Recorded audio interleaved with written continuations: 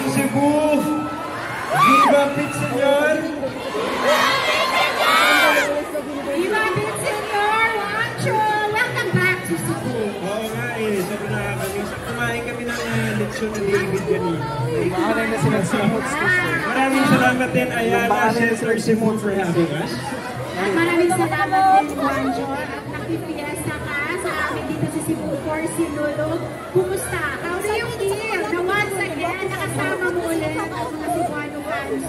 Heartwarming kasi syempre alam naman natin lahat hindi natin nagawa to at nagkasama-sama ng ganito na meet kayo up close lahat for almost three years, di ba? So heartwarming siya.